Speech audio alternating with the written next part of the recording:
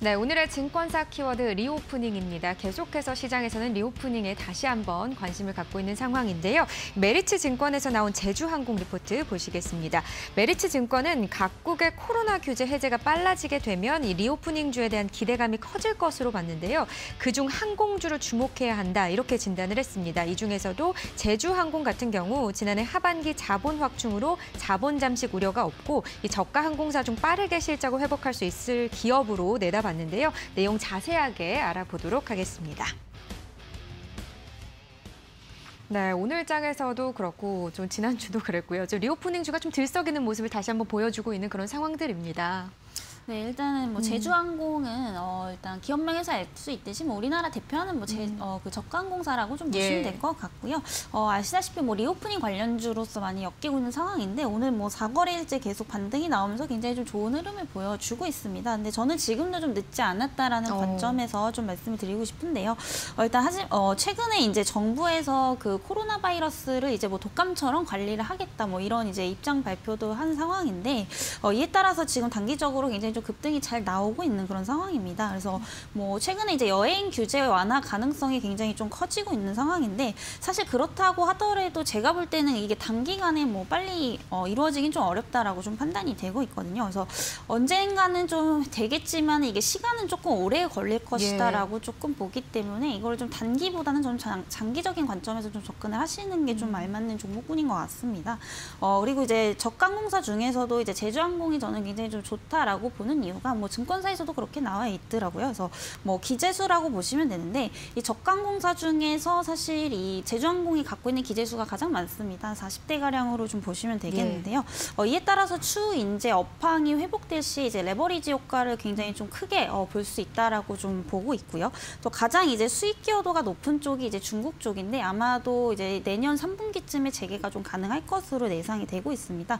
그래서 회복이 되면은 앞으로 이제 내년에 이제 영업이익 회복이 가장 빠를 것으로 좀 예상이 되고 있고요.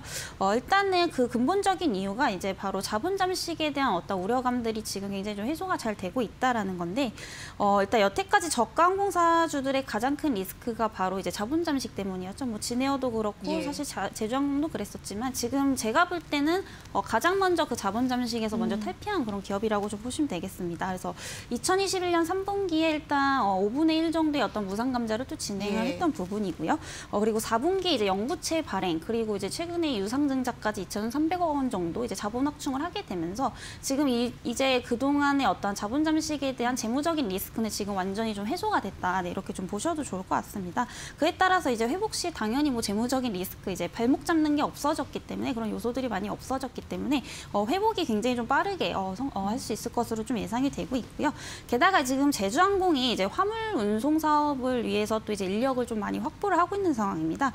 그래서 이제 국내 이제 저가 비용사 중에서는 거의 첫 시도라고 좀 보시면 되겠고요. 예. 어, 아무래도 이제 현재 대한항공 같은 대형 항공사보다 저가 항공사가 이제 코로나19로 인해서 더 피해를 받았던 이유가 이제 화물 여객기가 음. 이제 가지고 있는 비중이 현저히 적기 때문에 이런 부분들을 통해서 현재 굉장히 좀 어, 적자 부분을 많이 메꾸려고 하고 있는 어, 그런 상황이라고 좀 보시면 되겠고요.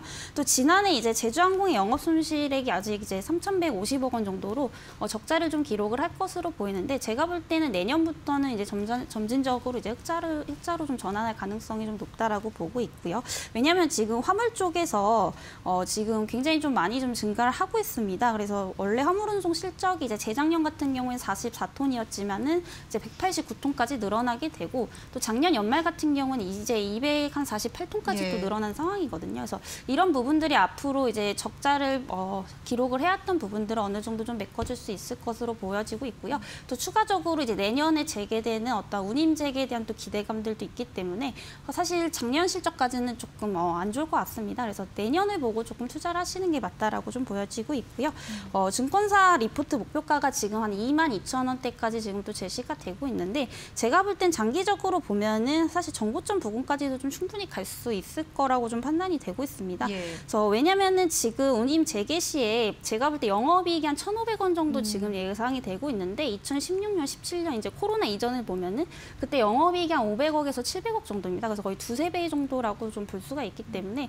그때보다 실적이 더 좋아진다라는 것은 앞으로 뭐 주가가 상승할 수 있을 만한 요인들이 많이 생겨난다라는 거기 때문에 제가 볼 때는 22,000원 이상까지도 좀 갈 수 있다라고 좀 판단이 되고 있고요. 예. 그 아무래도 지금 2, 3년 동안 지금 여행 수요 심리를 굉장히 좀 누, 어, 그 여행에 대한 어떤 그 수요 심리를 좀 많이 누르고 있는 상황이기 때문에 기저 효과도 좀 발생을 할 수 있을 음. 것 같아요. 아무래도 뭐 내년에 재개가 되면 굉장히 좀 폭발적으로 몰리지. 않을까 네, 그런 판단이기 때문에 이에 따라서 뭐 영업이익 또한 두세 배 정도 가량 더 늘 것으로 예상이 되기 때문에 저는 굉장히 좀 긍정적으로 보고 음. 있습니다. 그래서 이 종목군은 이제 길게 보면은 굉장히 좀 충분히 승산이 있다. 네, 이렇게 좀 어, 말씀을 드려보도록 하겠습니다.